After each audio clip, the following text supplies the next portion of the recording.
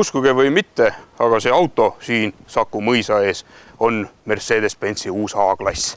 Ja sellel ei ole mitte ühte ainust joont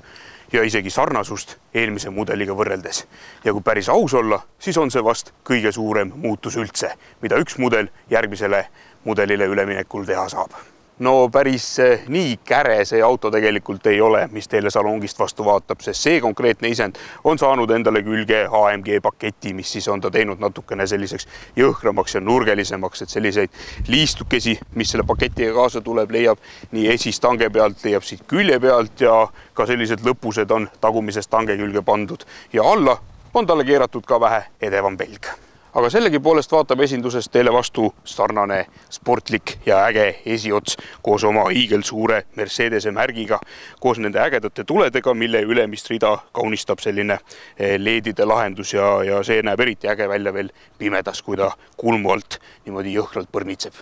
küljejoonega on mindud aga seda teed, et ta on võetud lihtsalt siit tagant kinni ja venitatud tahapoole ta natukene sihvakamaks ja pikemaks. ja tagumine osa on minu meelest eriti äge välja tulnud. ta on kohe selline madal ja lai ja tundub kihutavat ka siis, kui ta seisab. noh, ma saan aru, et see kõlab natukene klisseeliselt, aga tulge ja lihtsalt vaadake ja käige salongis vaatamas seda autot ja varsti tõenäoliselt näete linna peal ka, sest see on minu meelest üks väga hästi välja tulnud lahendus pagasiruumi on jätkunud siia kolmesaja neljakümne ühe liitri jagu ja kui istmed alla lasta, saab selle tõsta tuhande ühesaja viiekümne liitrini. samasugune sportlik eh, joon jätkub ka siia autosse sisse istudes ja arvestades sellega, et A-klass on Mercedese kõige väiksem mudel, siis eh, mahub siia istuma üllatavalt hästi, jalad ei käi vastu minu järgi paika pandud eh, esimest istet, pea mahub ka siia autosse täiesti ilusasti ära ja, ja tegelikult on siin tunne selline hästi mugav. ainukese miinuspoolena tahaks kindlasti ära märkida selle, et eh, mingi uus mood on hakanud autodesse tooma sellist suurt peatuge, mis põhimõtteliselt võtavad ära siit autost väljavaatamise võimaluse kui mu nelja-aastane poeg nädalavahetusel siia autosse ronis, vaatas ta mõtliku näoga ringi ja küsis, et issi, miks sul nii äge auto on ja kui ma ausalt tunnistan, siis ma jäin talle vastuse võlgu. sest ma ei oskagi kuidagi seda niimoodi kokku võtta, miks see nii äge auto on. ma tean ainult, et tal oli õigus. see ongi äge auto, et tõenäoliselt meeldisid talle siin autos samad asjad, mis mulle. siin armatuuri ühest otsast teise jooksvad sellised racing välimusega ventilatsiooniavad. Ja siis B-klassi Mercedeselt eh, tuttav selline väljaulatuv ja täiesti eraldi tükina olev eh, ekraan navigatsiooniseadmega, mis on tegelikult eh, paaritatav iPhone'iga niimoodi, et sa saad kogu oma telefoni sisu kasutada selle sama display pealt ja, ja Androidile on ka tulemas see, ühendusvõimalus siis huvitava asjana on kindlasti see, et siit keskelt puudub nüüd käigukang, mis on kolinud ära siia eh, rooli taha sellise väikse kangi peale,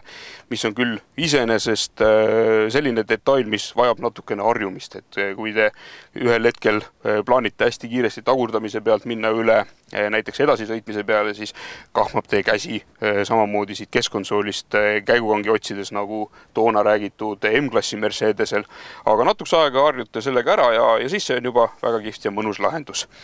samamoodi istub rool hästi kätte, on selline nahaga kaetud ja siit on alumiiniumit veel peale, andes talle niisugust racing touch'i veel juurde ja, ja samamoodi sportlikud kellad.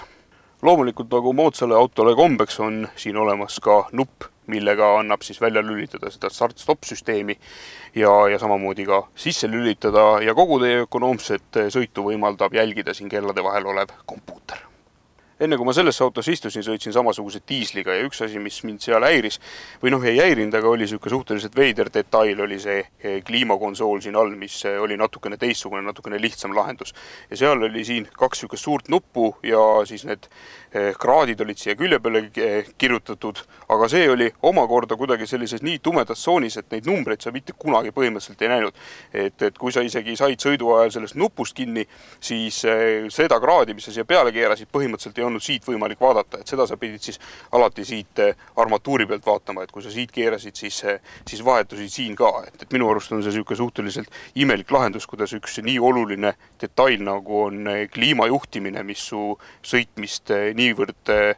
või sõitmise mugavust niivõrd muudab, on pandud nii imelikku kohta siia peitu ära aga siin on selles mõttes lihtsam, et eh, siin on juba digitaalne number all ka, et, et see on kindlasti üks asi, et kui te lähete seda autot endale ostma, siis eh, vaadake üle see kliimalahendus. ja üheks veidraks lahenduseks siin autos on see, et eh, armatuuri ja arvatavasti uksepolstri disaini on teinud kaks täiesti erinevat meest ja nad ei ole omavahel vist üldse kokku saanud, on istunud suure disainimaja erinevates office ites. see armatuur on tehtud selline sportlik, selline järskude nurkade ja, ja asjadega ja näeb tegelikult väga kihvt välja. Ja, ja uksepolster on natukene selline tagasihoidlikum, aga kui sa nüüd selle kinni tõmbad, siis tegelikult on näha, et neil ei ole absoluutselt mitte mingisugust ühist joont, et nad on eri kõrgusel, neil on mingisugused erinevad nurgad ja ta ongi jagu jäänud selline kuidagi nagu veider, nagu kaks täiesti erinevat asja on siia kokku pandud, et tavaliselt ikkagi üritatakse luua sellist väga sujuvat miljööd siia autosse sellega, et see uksepolster viiakse armatuuriga kokku, aga siin on siis mindud lihtsalt vahelduseks seda rada mööda. räägime siis natukene tähtsat juttu ka. A-klassi Mercedese hinnad hakkavad pihta kahekümne kolmest tuhandest seitsmesajast eurost ja sealt siis hakkab eh, edasi ronima vastavalt eh, varustusele ja vastavalt modifikatsioonidele. ja mootoriteks on eh, ühest koma kuuest kuni kahe liitriseni nii bensukaid kui ka diisleid ja kilovattide poolest kaheksakümnest kuni saja viiekümne viieni. ja sõitmisest tahaks nii palju rääkida, et kui B-klass on äh, üks auto, mis mulle jättis väga positiivse äh, elamuse just äh, sõidukogemuse poolest. temaga oli väga mõnus sõita, ta oli hästi juhitav, siis mul on hea meel öelda, et see samasugune mõnus juhitavus on tulnud üle ka nüüd siia selle A-klassi peale ta on suhteliselt jäiga vedrustusega, mis annab teda keerata ka suuremates, suurematel kiirustel järsemates kurvides, ilma et juhitavusega midagi muutuks või midagi juhtuks. pidev kontroll on auto üle kogu aeg olemas ja käigukast iseenesest töötab ka laitmatult ja erilist rõhku on siin auto puhul pandud siis ka turvavarustusele, et kuhu on nüüd saada kõik need avariiennetused ja üks selline kihvt lisa siin autos on see, et armatuuris on selline Eh, punane hüüumärk, mis siis hakkab põlema sellel hetkel, kui auto arvab, et sa oled liiga väikest pikivahet hoidmas oma eessõitva autoga ja, ja tal ei ole see kuidagi fikseeritud pikkus, vaid olenevalt kiirusest arvutab ta selle pikivahe kogu aeg ümber. ja, ja siis, kui see eh, punane hüüumärk põleb ja te oma pidurdamisega natukene hiljaks jääte, siis hakkab ta teid pidurdamisel abistama ja, ja kuni siis sinnamaani välja, et aktiveerub äh, avariiennetussüsteem